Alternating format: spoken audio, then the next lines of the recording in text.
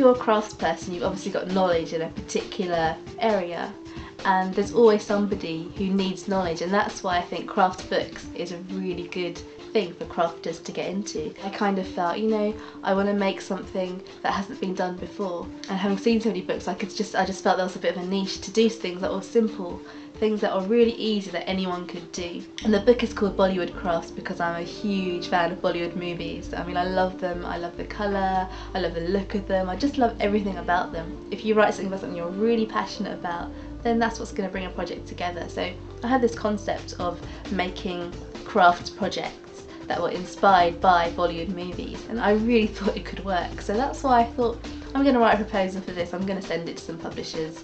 And yeah, you know, I got rejected from eight publishers. I think you want to show people they can do different things. It's got a bit of sewing in there, it's got a bit of painting in there, got a bit of printing, all different things in there. And they said that wouldn't work because you couldn't shelf it. If you had a, a bookshop where would you put it? You can't have mixed craft books. And you know, I didn't believe that. I just thought, you know, I don't think there's people out there who just want something about one thing. They want to read about everything. So I carried on until I found a publisher who sort of was on the same wavelength as me pretty much the first time I met them they gave me a schedule and they basically said okay we'll do it if you get it into us by a particular date so then I had about three or four months um, to just work solidly on this and I put all my other projects on the side and just did this all day the exact process took about a whole year when the book came out I had really nice um, feedback from it from people who'd seen it. I felt it was a big sense of achievement and I've been able to use it in craft workshops and I've been teaching crafts groups as well. We've been using and working with ideas from the book.